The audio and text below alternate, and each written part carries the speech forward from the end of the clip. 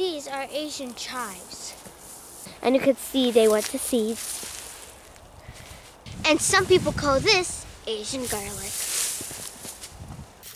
I'm just gonna do a little bit of garden update here, so yeah. So today is March 11th, and this is it. and It's pretty cold out still, and this is what it looks like. So I'll show you this in the winter time, and they were seeds, and so these are some of the seeds. I'm gonna pull just some of this stuff out.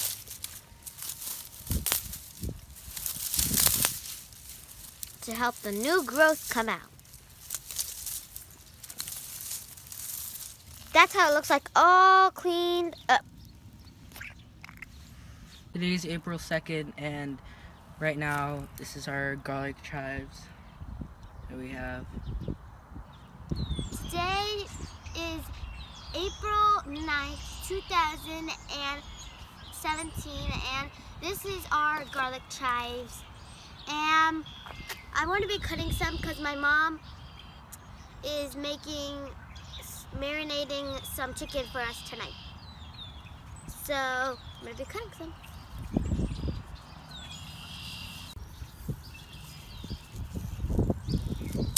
Just chop them.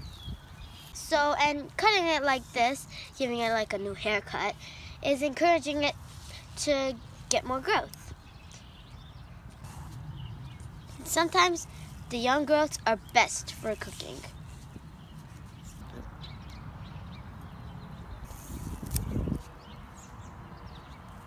So I've been cutting a lot of big ones. As you can see, this big pile. So I'm gonna just cut this. When you're cutting these, you could smell a very strong oniony smell, even though they're garlic chives. It's getting a little warmer, so that means I get to do more gardening. We plant these in giant pots because they grow wilder and quickly.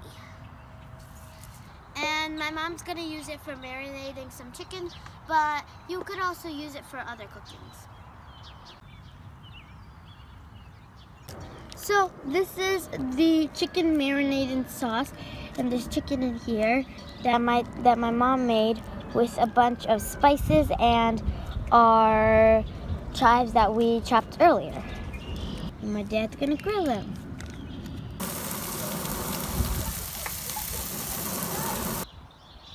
So you guys, today is Easter Sunday, and as you can see, the chives have grown so fast.